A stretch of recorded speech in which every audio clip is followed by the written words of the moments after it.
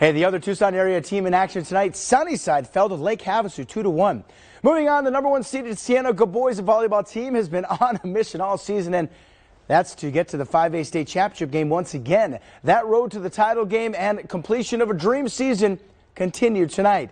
This is file footage of Cienega. We can tell you this of their team. Cienega is now 19 0. The Bobcats would win this evening 3 1. 15 of Cienega's 19 victories have been in shutout fashion. We're talking wins that turned out to be 3-0. One of the few teams that have actually won a set against Cienega is Catalina Foothills, who lost 3-1 earlier this season and 3-1 tonight.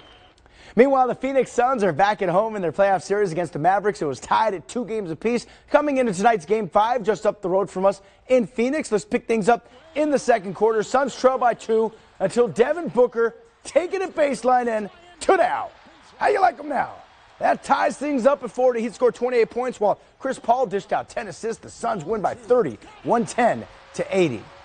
Hey, moving on, how about this? The Pima women's golf team has two young ladies who are competing this week at the National Junior College Golf Championships in Florida.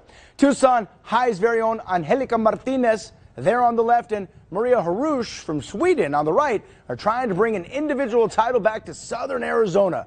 Harush is a freshman from Sweden who like many of the European collegians you see here in Tucson, came to the United States because there's simply not a comparable opportunity to play their sport in their native countries. Maria has knocked 11 shots off of her score this season thanks to a greater knowledge of how to manage her swing on the golf course.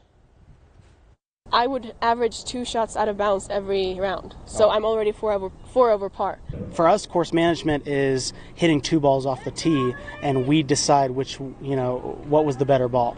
We go down and we play our approach shot. We play it three different, four different types of ways, and we put them in sticky situations. As my swings got better, my contact's better. I'm hitting the ball more accurate. Uh-huh. I know my shot pattern, and I can play the course with what I have for that day.